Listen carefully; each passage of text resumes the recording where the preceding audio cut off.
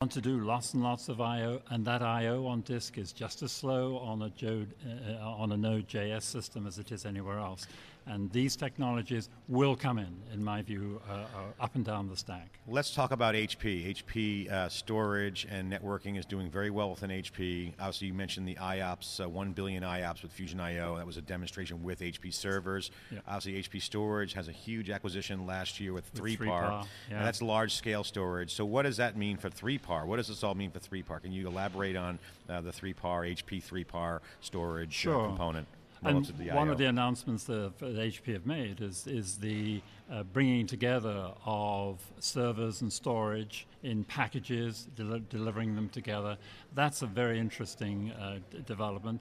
The other very, very interesting development in this mid-range and this management across these devices are the federated storage that 3PAR has announced. So the ability to be able to move applications in the same way as VM, but do it from uh, array to array is very, very exciting technology uh, to be able to, if you like, virtualize movement across those sub subparts of it. So there's a lot of technology there that they can bring to bear to help in this new type of uh, a large I/O environment.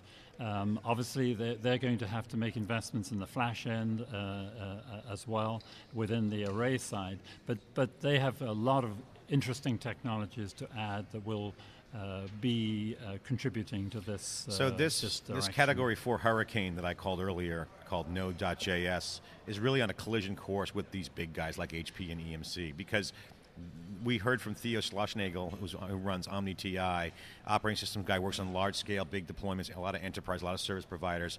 Uh, his comment was legitimate around that a lot of these guys who are kind of getting more back end capabilities with Node just aren't visible to all the problems that go on in the right. lower level system components. So people who understand systems programming and systems design have been there before. There's more operational processes in place and it's always up and running. So these guys are going into an environment they just right. know nothing about really, and they're kind of ignorant. I mean, they don't, they could know in theory, but in practical purposes, this is really a perfect storm for HP 3PAR and EMC. Lightning if they play their cards right. Is that correct? Uh, absolutely. Um, yeah, because at the end of the day, you need operational systems that stay up and, and keep up and that needs solid processes and solid quality uh, processes, all of the normal infrastructure methods that have been done. At the same time, the Node.js people are doing things in, in record time in developing things, and they have their massive contribution, and the yeah. two together is going to be very exciting. You know, we've had uh, Fusion IO on the Cube, and uh, we've had SolidFire great technologies, but SolidFire in particular, the CEO there was, at, was used to be with Rackspace. So he understands Rackspace. And we just heard from mm. Theo that Rackspace mm. has been quietly doing a lot of Node for their deployments. So it's interesting to see how SolidFire is very well positioned for this as to keep up with the scale of provisioning and deployment of, of, of I.O. and storage. Uh, and, and SolidFire have, uh, they've got a very interesting uh, angle on particularly important in this area, which is that the the key cost item in Flash is writes, um, and those are the things you've got to monitor and allocate out. And, and cost for. So they've, they've thought through very carefully the cost allocation uh, infrastructure that's going to be allow service providers, for example, to be able to uh, uh, throttle or give specific amounts of I/O, and that's what people are going to be buying. It's not there's, there's more than enough gigabytes around the place. What they'll be buying is the I/O capability and the rapid I/O capability, and you've got to you've got to pay for that. And and they don't want to give away I/O if it's if there's spare I/O. They certainly don't want to give it away. Let me ask you about another company called Data Direct Networks or DDN. So I've been having conversations with Jean-Luc Chatelain, who came from HP as a senior executive now at DDN. He ran a lot of the information governance services side of HP for years. Brilliant man. He's been on the cube. I got some great interviews with him, one on one with me. Um, but fantastic uh, technical and business leader. I've talked to their technical teams. They've come out with a very successful approach around object store, where you can store all this stuff. So wh- where do they fit into this equation? Obviously, th- that approach seems to work here. What's your take on DDN relative to all these new trends? Well, the, what we didn't go through is the last two layers of the manifesto, which is the archive management layer and then the base layer, which is uh, mainly disk based. I mean, that's, disk is not going away. Disk has got a very important part to play. Um, so, what you want to do then is that within the whole process, when you gather the data at the beginning, you're going to be doing the metadata and the indices right from the get-go and be putting that into the, into the third layer. And the advantage of that then is that when you create the archives or when you create the long term backups, you've got all the metadata there. You've done the deduplication, you've done all the stuff to condense it down. And then at the back end, what you need is very high speed devices, very cost effective devices, both to store it and to distribute it uh, uh, across uh, across a network. So WOS is a, is a great uh, product that DDN have. Uh, web object systems, it's yes, called, right? web object uh, systems. It's an object uh, object-based uh, storage mechanism which will allow you to distribute stuff across the whole of the network. And DDN have a great set of very high speed. So that's a cl- that's a cloud opportunity and multi geography yeah. opportunity, right? Absolutely. And, and again, this this emphasizes this. If you want to get that data back, uh, from that lowest level. It emphasizes absolute top speed of getting it back, uh, especially sequential and, and large objects such as okay. video. So we got Fusion IO, SolidFire, uh, EMC with their Project Lightning, HP 3PAR obviously in that in that world. Yep. DDN is a candidate to benefit from these trends. Um, what other clients you, are you following now um, that are interesting in this area that might make sense? Oh, we're, we're following a lot of different companies. Um, for example, one of the ones which uh, I've always been an advocate of their technology is CleverSafe. Um, they've brought in the ability to both uh, to, to, to, to distribute um, uh, I/O archives across ge- geographically and guarantee that they can recover if, they distribute a slice, 20 different slices. They can guarantee, for example, they can recover from the loss of eight of them. Enormous guarantees with far less overhead uh, because of their use of erasure coding. Far less overhead than the traditional uh, RAID techniques or, or, or, extra copies. So they've got some very interesting technology that's going to allow the bottom end of this to be able to distribute that storage safely. And at the same time, because the metadata and the indices are all in the active data, if they're required, they can be got at very quickly indeed and, and recovered. So again, this type of computing where they, they're allowed to have the indices and the, and the hard stuff and, and process the archives before they're put down to disk is going to be a, a great boon to them. And, and, they're going to be working, I'm sure, very closely with a lot of archive vendors to uh, add value in so, this space. So, obviously, a lot of funding coming into the sector um, and some new companies that are growing very rapidly, besides the one uh, SolidFire, which we, we think is one of the hottest ones out there, um, is yeah. Virident. Um, you've been talking to those guys. They just yeah. closed uh, mm. $21 million on a Series C funding, very well funded. It's a flash, it's got a performance aspect of it. We're all talking about performance here. This is all latency. I/O performance, right? so, are they yeah. relevant in this conversation? Oh, absolutely. They uh, they have uh, great PCIe cards. They are very very fast indeed. What what uh, Fusion IO showed was that latency really matters. Um, uh, it, it, it it, it really helps if you take uh, milliseconds, microseconds off things. Virident have taken it that even further. Uh, they've got some amazing uh, um, capabilities in terms of response time. Uh, they're going they're going to need to partner with people in this space um, to provide the same sort of services, um, particularly on the um, on the uh, uh, interface, close interface between the processors and the servers and the, and the interfaces from the, the servers back to the mid-range. But uh, they're a very interesting company, um, some great technology, and I think uh, if they get their, their partnerships right, they're going to be very successful. Well, we'll put them on the list. So, so in summary, um, this Node.js and quite frankly, mobile and cloud and social in general are rapidly changing and disrupting the architecture of um, how firms are organizing their IT infrastructure and service provider infrastructure.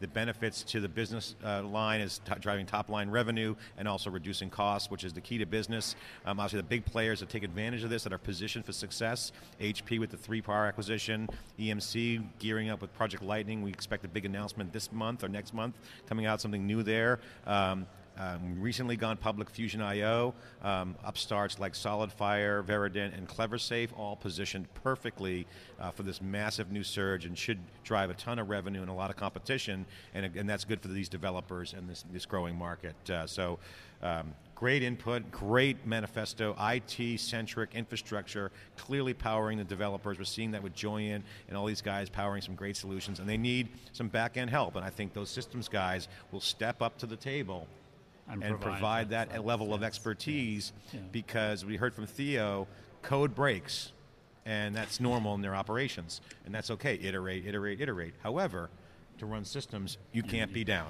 So I think there's going to be a really nice intersection here between the two. Yeah, and there's one last thing I'd like to say is that what's going to drive this is that the applications that can be written with this type of technology are, are, are going to be completely new. They've been constrained by small amounts of I.O. What you can do is consolidate those databases, you can link those databases, you can do your uh, data warehousing at the same time as you're ingesting that data. That's going to lead to a completely new set of applications, the, the, the, the types of applications that we're seeing now in Node.js, for example, new applications, uh, completely different paradigms of developing analytical applications. I think it's going to be the most exciting uh, decade uh, in computing that's coming up.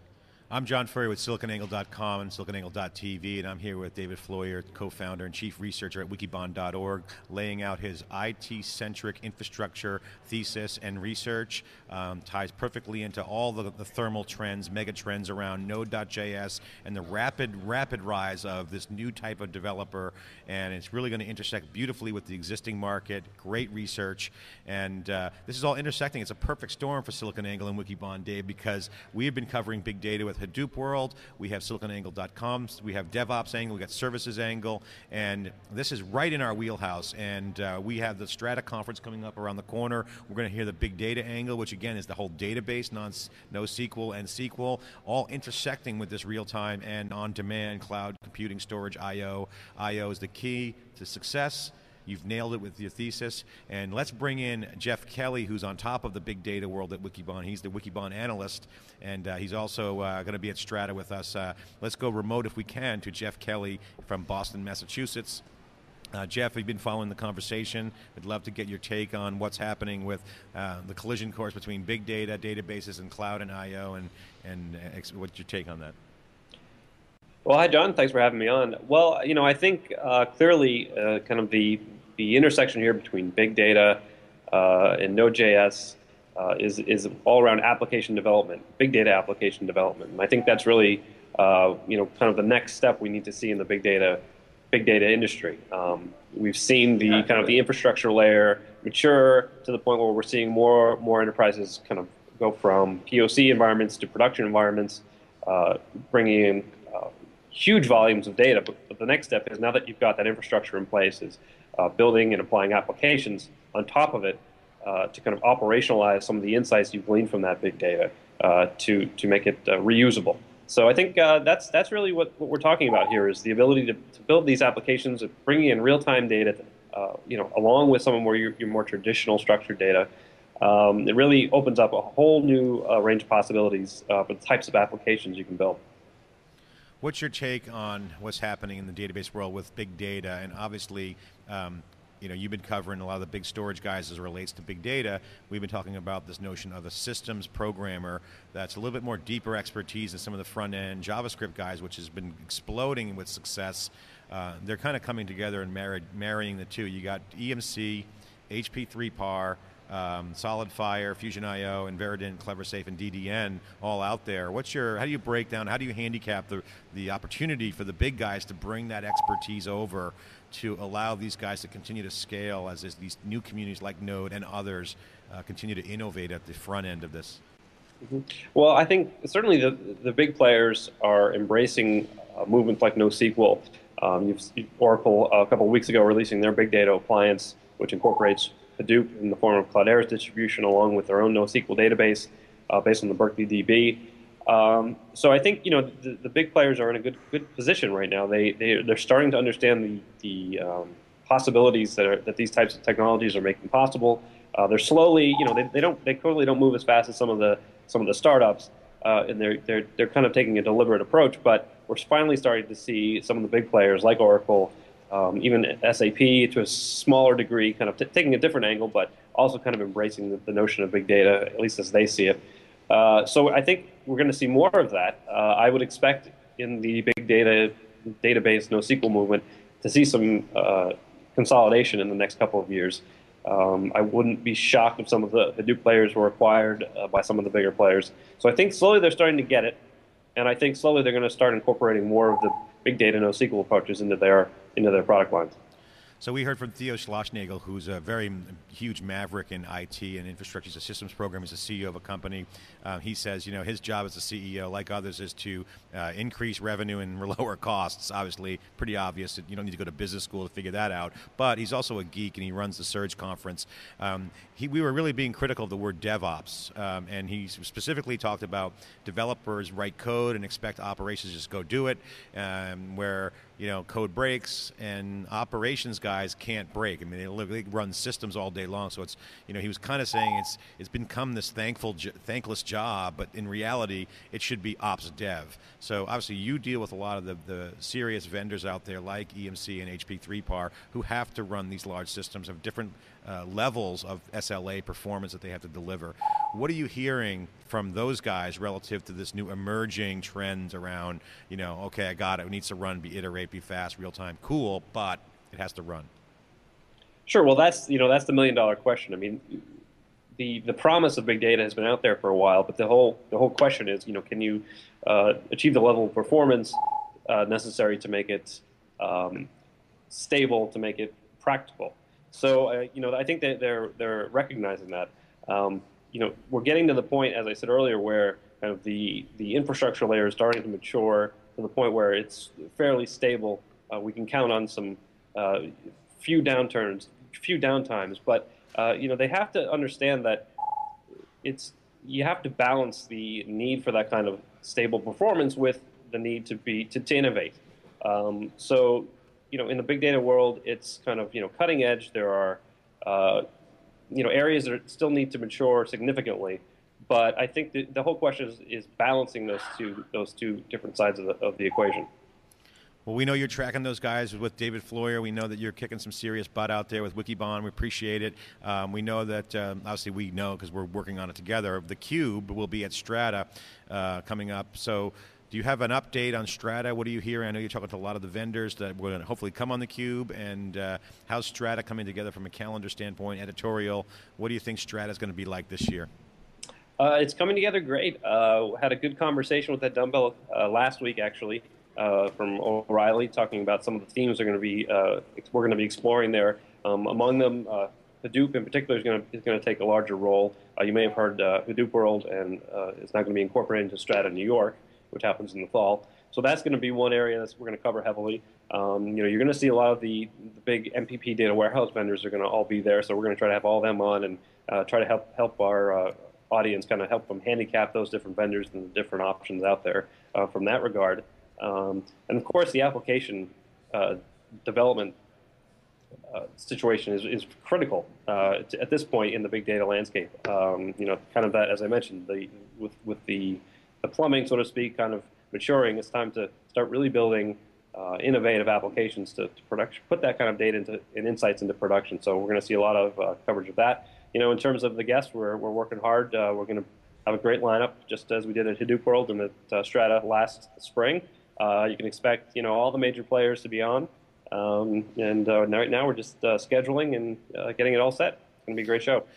Okay, we're Jeff Kelly, uh, big data analyst at wikibon.org, tracking the big data space and storage. Thanks uh, for coming in, um, teleprompting in here. Appreciate it on Skype. Um, say hi to Dave Vellante over there in uh, Boston, Massachusetts. We really appreciate your insight, and uh, we'll see you at Strata in uh, California. Great, looking forward to it. Thanks, John. Well, David Floyer, um, obviously your colleague, um, Jeff Kelly, uh, really sharp guy, great writer, on top of the big data space, which is Hadoop and now MapR and other proprietary approaches. Um, it's really converging in with, uh, with, with this world. And, and for the folks out there, siliconangle.com and Wikibon work together with research and publishing. Siliconangle.com is the reference point for all the real-time information and all the in-depth knowledge is on wikibon.org, like the research paper that David wrote about IT-centric infrastructure siliconangle.com is now a network. We have multiple verticals. We have launched this year Services Angle with support from EMC. We really appreciate EMC there. Services Angle, I guess, is the uh, the the ops dev section of our of our programming, more the higher end uptime services models with EMC, the HPs and IBMs of the world, Accentures, et cetera. DevOps, which we launched today, is much more of the software side of the approach. So what we're doing at SiliconANGLE and Wikibon is we're really going to surround the castle in this in this marketplace because the disruption is real. The architecture is changing, approaches are changing, business models are changing, and we're going to cover it from all the angles. DevOps, to services angle. So uh, I'm pretty excited. And, and uh, how, how, do you feel about that? I feel great. And uh, just going back to the conversation with uh, Jeff, and we're looking at big data now. Um, being able to bring in lots and lots of data for analysis, and we're looking at the big data from a transactional point of view, being able to manage these huge numbers of, uh, messages going between machines and people and, and uh, and devices of all, uh, two devices of all sorts. So we're getting a, a, a, massive increase in the amount of data that's there, the amount of data to be processed. So we're, we're having a, a, combination of big data for transactions, big data for analytics coming together and changing the way that uh, business is run. I just, you know, I, I got a degree in computer science and um, my operating systems background and database, and, and especially in database and operating systems, and, and the word system software was a, a, word that Theo and a lot of people are kicking around, and, and Steve Herrod talked a lot about because he's a total OS geek. Um, is real. People get pumped up. This is an operating system. The playground of mm. development is emerging. New things are happening. Um, but it's interesting. You got system software, but we got on end two ends of the spectrum software and systems coming together. So it's going to be very interesting to watch the evolution of these Absolutely. these worlds coming together. And will it be a total collision? Will it integrate well? Yep. Who drives what? Who's enabling who? Yep. Right now, it seems to be you know uh, You've some. got the collision between the hypervisors, the operating systems, the file systems, the database systems.